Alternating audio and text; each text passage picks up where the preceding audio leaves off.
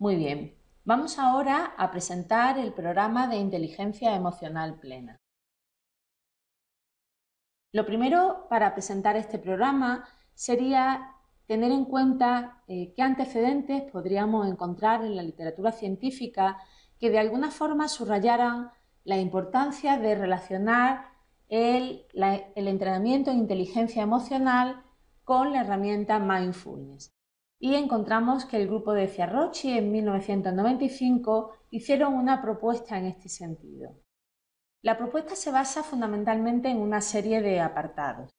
El primero de ellos es el subrayar la importancia de la herramienta mindfulness como un recurso que nos permite abrirnos a la experiencia emocional, aceptando, por supuesto, cierto grado de malestar, pero en esta aceptación encontramos lo inverso a la resistencia. Ya hemos hablado antes que esa resistencia, ese reaccionar, se manifestaba a través de la evitación de la experiencia emocional o de la sobreimplicación o de la intrusión sobre dicha experiencia. Por otro lado, estos autores subrayan la importancia de observar los pensamientos cargados emocionalmente a través de los cuales estamos percibiendo la realidad. Es importante que cuando observemos la realidad no tratemos de preservar una imagen personal idealizada sobre nosotros mismos, sino que realmente nos demos cuenta de qué es lo que está sucediendo, qué es lo que está pasando. Y al mismo tiempo estos autores subrayan la importancia de identificar nuestras propias emociones y las emociones de otras personas y entender cómo estas, estas emociones van evolucionando a lo largo del tiempo. Cuando nosotros decidimos eh, trabajar con la herramienta Mindfulness por una parte y con los programas de inteligencia emocional fue en el 2009 en un primer momento trabajábamos en paralelo, había un entrenamiento de inteligencia emocional al mismo tiempo que los participantes recibían un entrenamiento en mindfulness. Realmente el programa de inteligencia emocional eh, se basaba en el modelo de habilidades de inteligencia emocional propuesto por Salovey y Mayer, del que se habló anteriormente. Y si recordáis, este modelo se caracteriza por dar importancia al procesamiento emocional de la información y por subrayar el valor adaptativo de las emociones independientemente de la valencia afectiva, independientemente de que sea una emoción eh, de las que llamamos positivas como la alegría o una emoción como la ira. Respecto a mindfulness, sabemos que invita a la aceptación de la experiencia presente, aun en el caso en que persigamos cambiar dicha experiencia emocional y la clave de mindfulness sería atender al momento presente junto con una actitud no valorativa que implica curiosidad y aceptación. Las ventajas que podemos encontrar en esta fusión entre mindfulness e inteligencia emocional son las siguientes.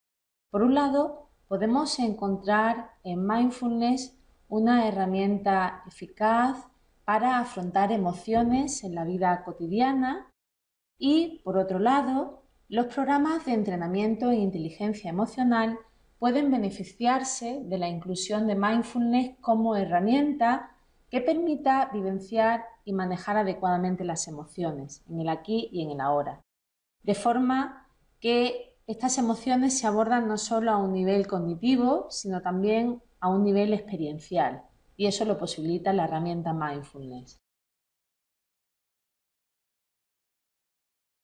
Cuando hablamos de un comportamiento emocionalmente inteligente, realmente estamos haciendo referencia a la capacidad de la persona de responder de forma adaptativa cuando está experimentando emociones y pensamientos fuertemente emotivos. Es decir, la clave sería que una persona está experimentando emociones difíciles o complejas y a pesar de ello es capaz de dar una respuesta adaptativa a la situación.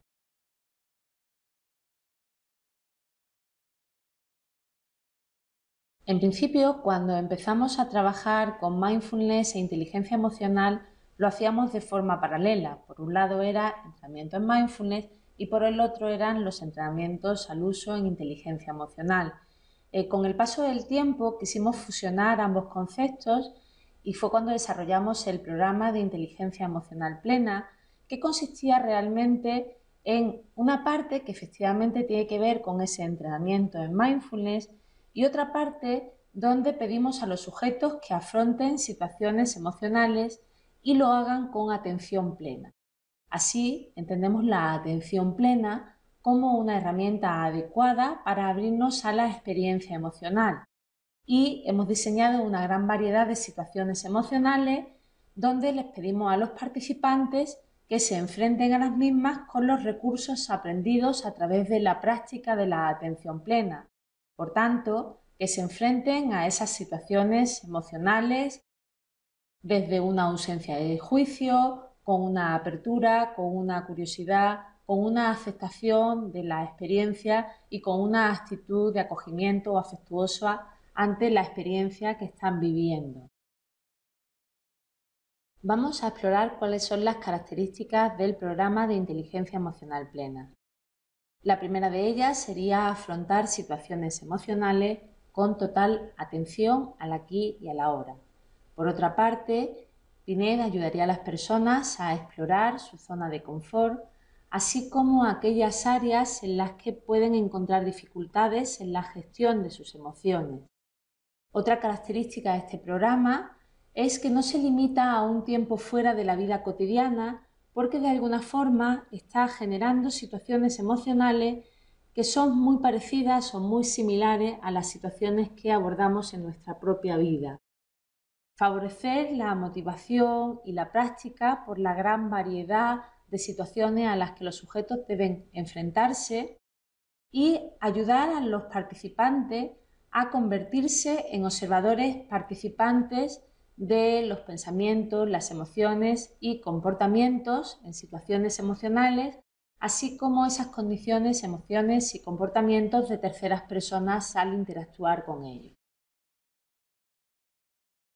El programa PINET permite a los participantes descubrir esos automatismos o esos hábitos condicionados que nos llevan a actuar de una manera irracional o incongruente con nuestros propios valores personales en situaciones emocionales. Por ejemplo, descubrir cómo, a pesar de querer acercarnos a conocer a una persona que nos interesa, de manera automática tendemos a evitar enfrentarnos a dicha situación. Al mismo tiempo, este programa eh, ayudaría a tener la oportunidad de gestionar emociones en un contexto seguro, donde un fallo en la gestión emocional no supone una pérdida ni tiene consecuencias significativas para la persona. Son situaciones emocionales, entre comillas, de laboratorio, donde los participantes pueden experimentar sin el temor al riesgo, hacer el ridículo, a, tener consecuencias negativas, cosa que en su vida cotidiana es más complicado. Al mismo tiempo, eh, PINED ayudaría a los individuos a enfrentarse a esas situaciones emocionales que es posible que en su vida habitualmente eviten hacerlo.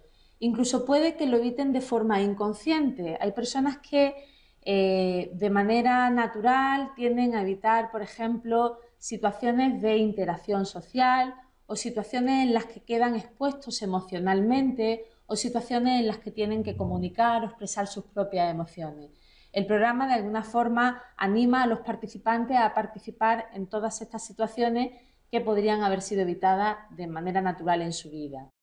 Y al mismo tiempo, algo que caracteriza este programa sería ayudar a las personas a obtener una mayor libertad frente a lo que hemos denominado como pensamientos emocionales y por tanto el ser capaz de dar eh, una respuesta más adaptativa y más libre en la situación emocional en la que el sujeto se encuentra.